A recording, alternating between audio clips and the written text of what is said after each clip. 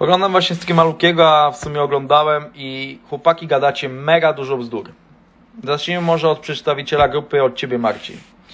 E, mówisz Marcin, że nie wysyłałeś grubych donate'ów do, do szachisty, że, nie, że, że to nie do końca tak wyglądało, a ty jesteś wielkim ubem. Nie do końca tak jest, ale jakby następne Instastory zweryfikują, czy te donate'y były grube, czy nie.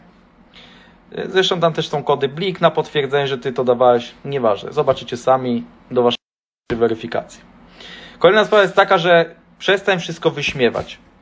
Przestań obracać kota ogonem. Przestań mówić, że wszystko wiedziałeś, bo chuja wiedziałeś, nie miałeś pojęcia prawie o niczym, co było w tym filmiku, bo ludzie się boją tobie mówić te rzeczy, a ty pokazujesz, jaki to dobry nie jesteś. Jesteś mega chujowy i dobrze o tym wiesz. Przejdźmy dalej. Okej, Piotrek. Yy, słyszę, co mówisz i nie do końca mówisz też prawdę. Sytuacja, jedyne co miało prawdę to to, że sytuacja ma miejsce w okolicach Sylwestra, dokładnie pierwszy, 31 chyba grudnia, chyba Sylwester się sobie wyżał. E, nie pożegnałem się z tobą. Nie pożegnałem się z tobą w twarz. Na samym śniadaniu mówiłem do ciebie, że bardzo źle się czuję i że chcę jechać do domu i prawdopodobnie pojadę szybko, bo nie mam póki co gorączki. Nie wiem, czy to słyszałeś, bo byłeś na tyle skacowany, piłeś poprzednią noc. Ja za to leżałem w łóżku na Sylwestra, bo nie byłem w stanie się ruszyć. Tak, byłem sparaliżowany gorączką i całym, całym tym swoim y, jakby chorobą. Wy poszliście się bawić, ja poszedłem do łóżka. Nie ma żadnego problemu. Chciałbym Ci jeszcze tylko przypomnieć, człowieku, że dzień przed Sylwestrem byliśmy razem w restauracji. Ty ze swoją dziewczyną, ja ze swoją.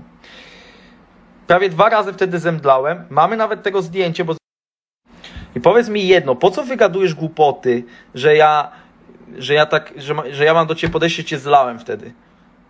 Chłopie, ja ledwo, ledwo przeżyłem ten, ten czas, kurwa, trafiłem do szpitala, gdzie lekarze mi mówili, że prawdopodobnie mogę z tego nie wyjść, a ty mówisz, kurwa, taką głupotę, że to jest hit. A kolejna i ostatnia sprawa to te trzy dziewiątki, które mam. To jest numer na karetkę, bo cholesterol tak wypierdoliło grubemu, taka, tyle prawdy wyszło, której nikt nie wiedział, oprócz pojedynczych osób, że chłop się zagotował i będzie mi groził, że do mnie przyjedzie. Gruby, ty lepiej nie przyjeżdżaj, naprawdę nie wsiadaj w auto w takim stanie, tylko zadzwoń sobie pod to 999. I daj sobie spokój. Przyznaj się po prostu prosto w twarz, że robiłeś coś takiego.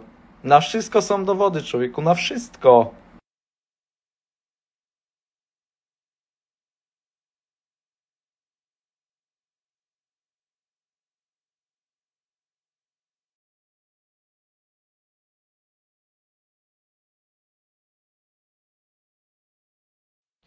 I przestań mówić, Marcinku, że nie miałem z tobą kontaktu, że wyjebałem się na kumpli i tak dalej. Ja nie powiedziałem w filmiku ani razu, że ja nikogo nie wyzywałem. Ja się przyznaję do błędu, że kiedyś mogły być takie rzeczy. Jednak nie porównuj skalowo sytuacji w momencie, kiedy wy się śmiejecie, że jestem zawałowcem i tak dalej, śmiejecie się, że jestem krewetą, a tak naprawdę nikt z was nie chciał mi pomóc w tym okresie.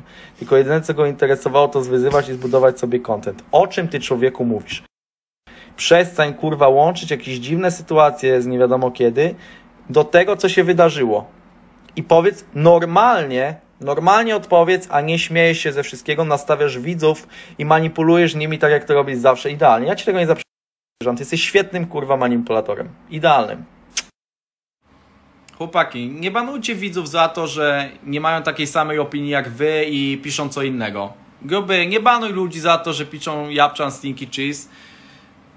Jakoś nie banujecie ludzi za to, że wyzywają mnie, więc nie banujcie wi- ludzi za to, że piszą coś innego. Dajcie im prawo normalnie się wypowiedzieć na temat całej sytuacji.